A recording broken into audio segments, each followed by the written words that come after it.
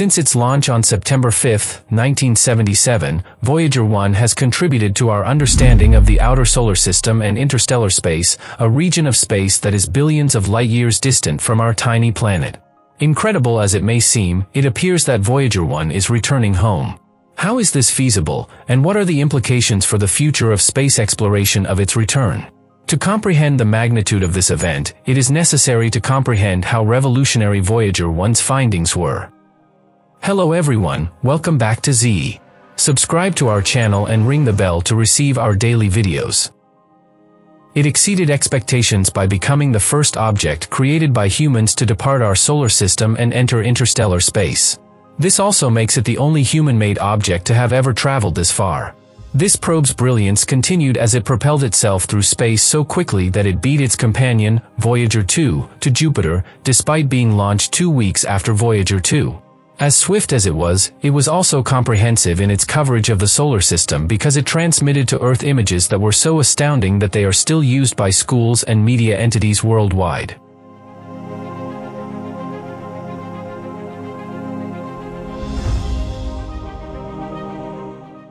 Within these detailed images, Voyager 1 stunned everyone by revealing a thin rim surrounding the planet as well as two moons, Thebes and Metis.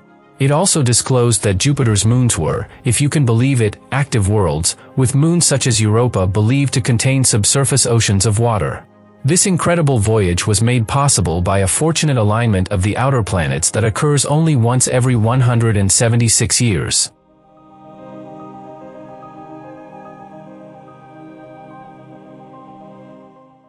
Voyager 1 and 2 were able to maximize the power generated by their three radioisotope thermoelectric generators as they hopped from planet to planet.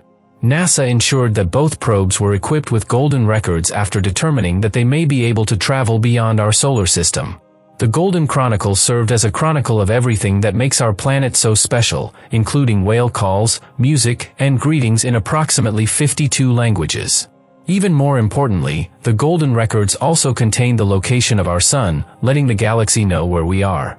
Voyager 1 was also equipped with 10 scientific instruments, including a two-camera imaging system, multiple spectrometers, a magnetometer, and detectors for low-energy charged particles and high-energy cosmic rays.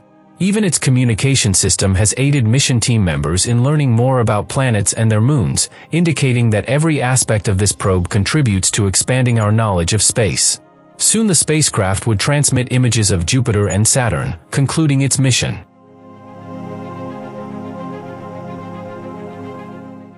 Voyager 1 proceeded past Pluto as it approached interstellar space after providing additional information about the enormous planet. Prior to this, however, on February 14, 1990, the probe captured one of the most iconic images ever when it photographed our residence.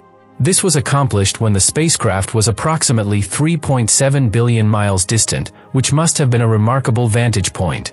In addition to Venus, Jupiter, Neptune, and the Sun, the spacecraft also captured numerous images of other celestial bodies in our solar system.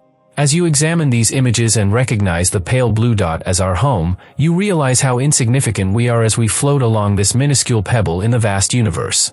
In 2012, after taking these photographs, the probe successfully traversed the heliosphere, the immense layer of charged particles that the sun blows around itself. After the probe's plasma wave instrument recorded a violent solar eruption between April 9 and May 22, 2013, this was only discovered. After determining that the official date of Voyager 1's departure from the solar system was August 25, 2012, the same day that famed astronaut Neil Armstrong passed away, it was recorded that the spacecraft was officially 11.25 billion miles or 121 astronomical units away from the Sun, and as it entered the next phase of its journey, it took note of the marvels that lay beyond our solar system. The probe was able to provide us with detailed information about how charged particles from the Sun interact with particles emitted by other stars, among other astounding phenomena. In approximately 40,000 years, Voyager is expected to pass within 1.7 light-years of AC plus 79,388, a star located approximately 17.5 light-years from Earth. Given that the spacecraft is expected to be billions of miles away and will continue to travel for millennia, it is crucial that its Deep Space Network, DSN, continues to operate correctly. DSN is a collection of large radio antennas that are dispersed throughout the planet and is the only thing that allows us to communicate with the probe. Amazingly NASA can now transmit and receive signals to and from the probe within 20 hours of their emission. For the purpose of receiving these signals, the probe is equipped with 23 watt transmitters. These low-power transmitters are seven times more potent than the iPhone's transmitters. Using the DSN to transmit the secrets of the universe beyond our solar system has been a breeze, thanks to the gargantuan 3.7-meter antenna that is permanently attached to the probe.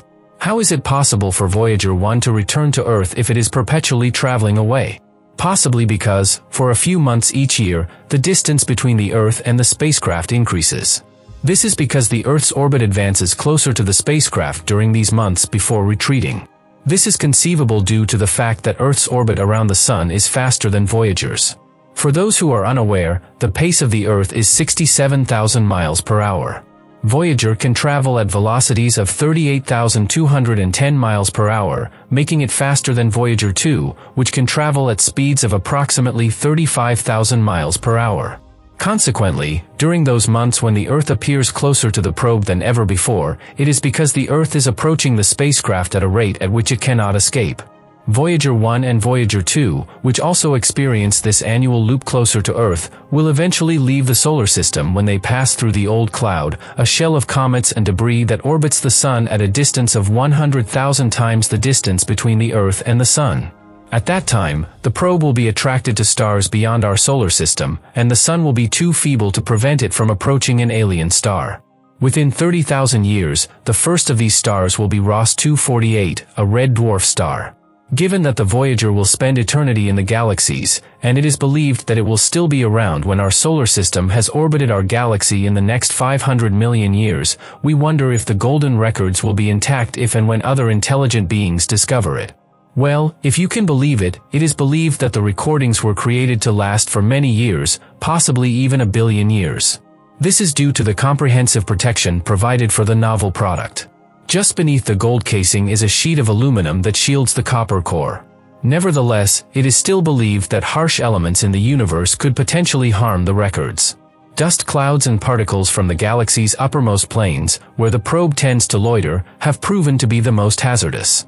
Also, it is believed that the particles within these enormous clouds may have sufficient gravitational attraction to deviate the probe from its intended path.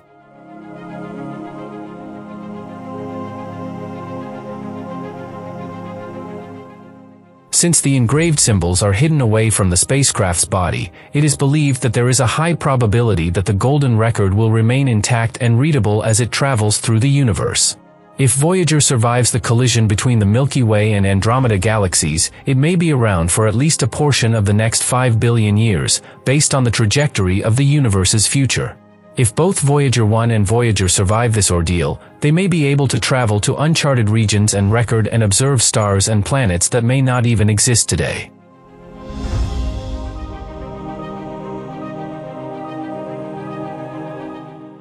Are you interested in learning more about our universe? Why not like and subscribe to obtain access to more content similar to this one? In conclusion, despite the possibility that Voyager 1 will never return home, we hope that it will help us learn even more about the universe than it already has. Perhaps one day it will also be able to educate another civilization out there. Perhaps one day they will return it home. That's all for this video. Feel free to explore our previous videos to get your mind blown. Thanks for watching and see you next time.